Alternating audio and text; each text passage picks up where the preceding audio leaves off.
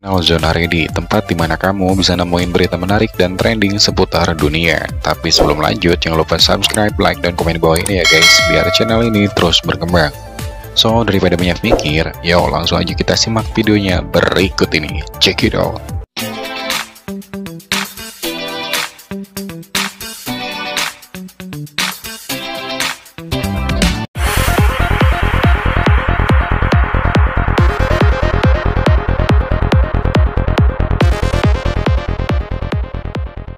Halo para Jonar, balik lagi di channel Jonar Ready Dan kali ini Jonar Ready akan membahas Ini dia nih guys Bebas mencicipi sebelum menikah. Waduh, ini tradisi pernikahan paling aneh di dunia.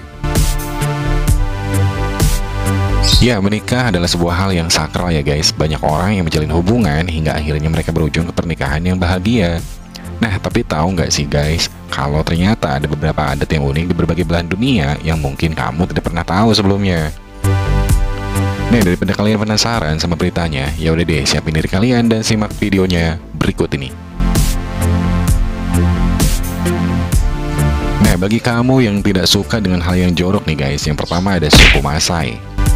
Kali ini tradisi yang berasal dari suku Masai ini di mana bakal kamu buat ngerasa geli nih guys. Gimana enggak coba? Dalam tradisi orang Masai, seorang ayah pengantin perempuan tuh diwajibkan untuk meludahi badan dan kepala putrinya sesaat setelah pernikahan berlangsung.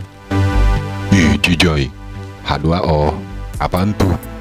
Oh, Memang jorok sih guys, namun persoalan ludah meludah memang bukan hal yang tabu di masyarakat suku Masai. Karena selain pernikahan profesi adat, ini juga datang dalam berbagai upacara seperti kelahiran bayi, bahkan bertamu kepada orang yang lebih tua.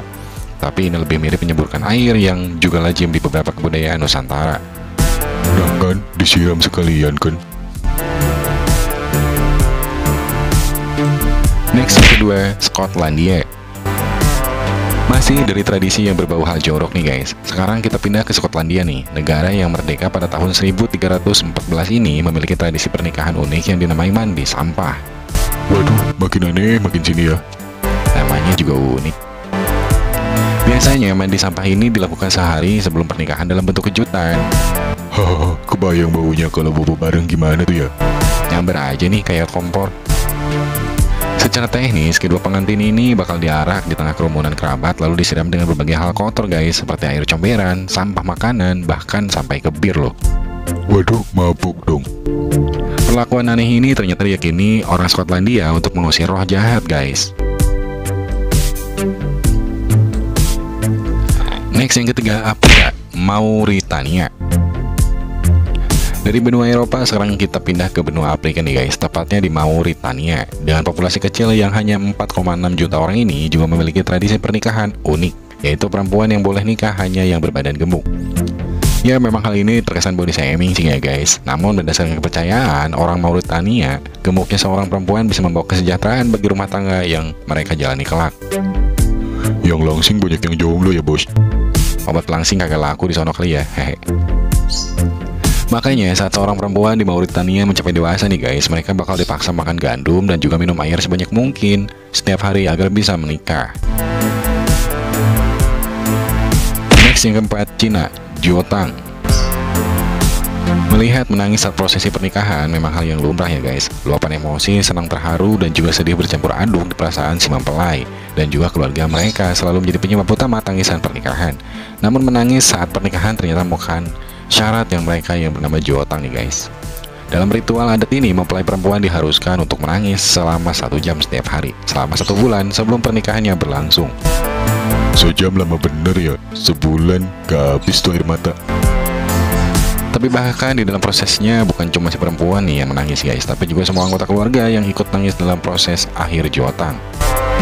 Nah, menurut kepercayaan mereka nih guys, dengan tangisan yang panjang ini, maka pernikahannya nanti hanya akan ada kesenangan, karena air mata si perempuan sudah habis. Kalau keiris pisau di dapur, bakal ketawa kali ya. Ya gak gitu juga, Panjul. Next yang kelima, Kamboja. Gubuk Cinta. Bicara tentang tradisi aneh nih guys, tentu kita tidak boleh melupakan tradisi gubuk cinta nih yang berasal dari Kamboja, tepatnya di suku Kreng. Sepertinya namanya gubuk cinta, ini adalah tempat bagi anak perempuan di tiap keluarga untuk mencari cinta sejati guys. Seorang perempuan mencapai umur 15 tahun, ayah dari si perempuan ini harus membangun gubuk cinta untuk putrinya. Nanti tinggal di gubuk cinta inilah si perempuan akan menerima pria dewasa lainnya untuk menginap, bahkan melakukan hubungan yang lebih intim. Memang terdengar aneh sih, namun dalam kepercayaan mereka, aksi mencicipi ini diperuntukkan agar si perempuan bisa menemukan cinta sejatinya secara mandiri dan tidak lewat perjodohan. Ulang banyak tuh cowoknya ya. Hal ini bisa dipercaya juga membuat rumah tangga si perempuan bakal lebih harmonis katanya nih guys. Ngebatin nih iya kali. Next yang keenam, Yunani. Jika biasanya perabot rumah tangga berupa piring, cangkir, dan lain-lain dijadikan sebagai hadiah pernikahan untuk disimpan sebagai bekal rumah tangga, di Yunani perabot rumah tangga yang menjadi hadiah malah dihancuri nih guys. Bukan karena si pengantin tuh punya dendam kesumat dengan si pemberi hadiah, tapi hal ini juga menjadi tradisi orang-orang Yunani. Bingung kalau kondangan ke sono ya mau kado apaan. Siapa juga yang mengundang lu Panjul? Bunyi keras dari suara piring dan cangkir yang pecah diyakini bisa mengganggu roh jahat dan membuat mereka terusir dari lokasi pernikahan nih guys. Nah, itu dia guys, tradisi pernikahan paling aneh di dunia versi Junaredi. Jangan lupa subscribe, like, dan komen di bawah ini. See you in the next video, and bye!